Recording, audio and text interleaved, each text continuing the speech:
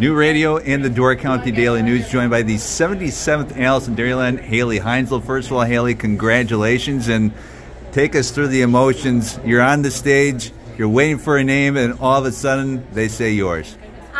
Just so honored to be selected as the 77th Alice in Dairyland. I know the selection panel had to make what I'm sure was a very difficult decision as all of the top candidates were wonderful advocates for agriculture. I'm excited to see what they do next, but I myself, I'm so honored to be here and to tell the story of Wisconsin agriculture. And what was that like for you? Because obviously there's five other girls that were basically interviewing for the job lockstep with you the whole time. What was like doing going through that process and really experiencing everything with them.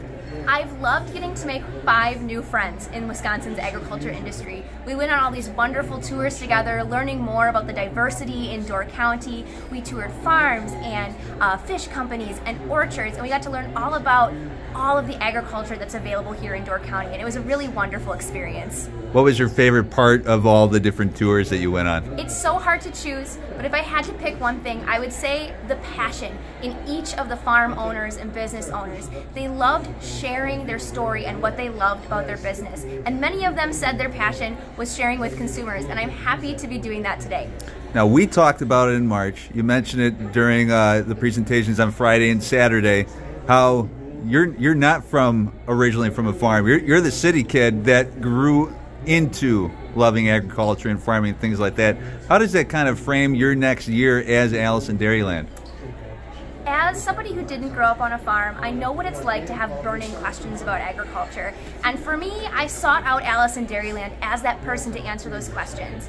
For me, serving as the 77th Alice in Dairyland is the best way to give back to a community that has done so much for me, and I'm so excited to answer all of those questions for our state.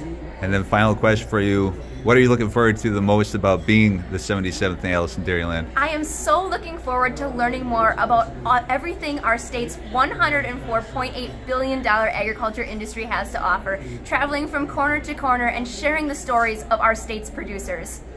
You've been watching New Radio and the Door County Daily News.